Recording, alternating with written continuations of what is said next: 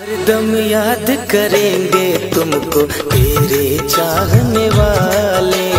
पुण्य आत्मा को खुश रखना सुन लो ऊपर वाले।